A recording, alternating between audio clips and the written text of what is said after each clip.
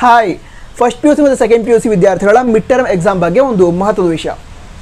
ಏನು ಅಂದರೆ ನಮ್ಮ ಕರ್ನಾಟಕ ಪಿ ಯು ಸಿ ಬೋರ್ಡ್ನವರು ಈ ಹಿಂದೆ ಫಸ್ಟ್ ಪಿ ಯು ಸಿ ಮತ್ತು ಸೆಕೆಂಡ್ ಪಿ ಯು ಸಿ ವಿದ್ಯಾರ್ಥಿಗಳಿಗೆ ಮಿಡ್ ಟರ್ಮ್ ಎಕ್ಸಾಮನ್ನು ಸೆಪ್ಟೆಂಬರ್ ತಿಂಗಳಲ್ಲಿ ನಡೆಸಲಾಗುತ್ತೆ ಅಂತ ತಿಳಿಸಿದರು.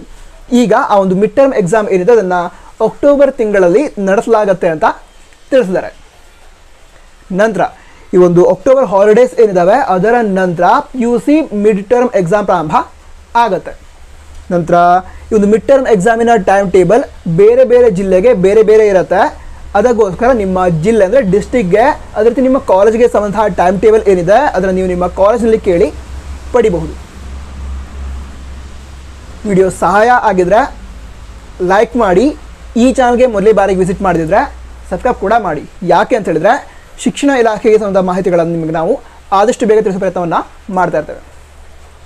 All the best Jai Hind Vande Mataram